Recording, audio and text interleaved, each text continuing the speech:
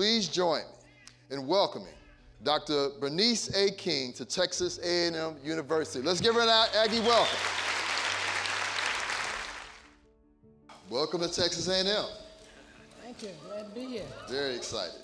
To be able to have an organization like MSCWBAC being able to provide this for the black students on campus is like we're living in history itself. For MSCWBAC, we have the MLK breakfast every year in January.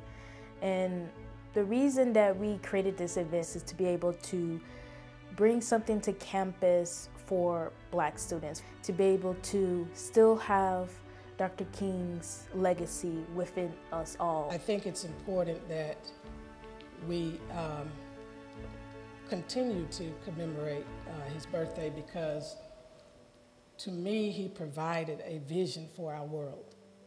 Um, we have all of these different forms of government, but he gave us a vision to create a world where we could coexist with all of our diversity um, in a way that we would respect the dignity, worth, and value of every human being.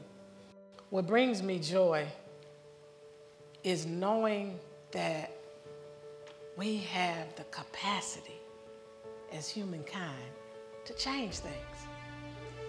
And I see young people doing things and making some headway.